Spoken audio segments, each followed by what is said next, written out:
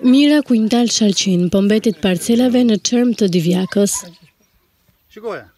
Fermerët thonë se me çmimin deri në 12 lekë për kilogram nuk mbulojnë as kostot këtë vit të plehrave. Edhe me 100 lekë nuk e shesim sot. Ku të shkojë, ku të mytë mund? Ndaj të enjte dolën në protestë për t'i kujtuar qeverisë që po rrezikojnë falimentimin. Hektari shkon 6000 euro. I pari, me plasmas, me produkte, me gjithë shkon 6000 euro. Tregtarët po tallen. Nuk nuk kemi asnjë lloj leverdie, me këto çmime jemi komplet falimentuar. Falimentum, shkum zero. Ky është dhe puna jonë. Kush të mbështet ne? Kush të përkrah?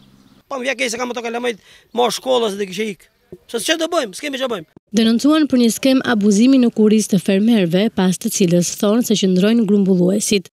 produktin që e marrin nuk vendosin çmim. Thjesht marrin mallin, edhe thonë do ta vendosin çmimin mas 3-4 ditësh. Në rast se është 100 lekë, vendosin 80 lekë. Thjesht po tallen, duhet ngritur dikush që t'i kontrollojë të gjithë pikat. Është skandal. Pikë grumbullimi që shteti i dha lekë u bon për na ndihmu neve, ato tani na groposin e nuk na ndihmojnë. Vetëm në fshatin Çermë përllogaritet mbi 100 hektarë tokë e kultivuar me shalqi. Prodhimi tashmë ka arritur pjekjen dhe nëse nuk shitet për 15 ditë, atëherë do të kalbet në ara. Tregtari nuk ma merr më pasnesër këtë kokërr.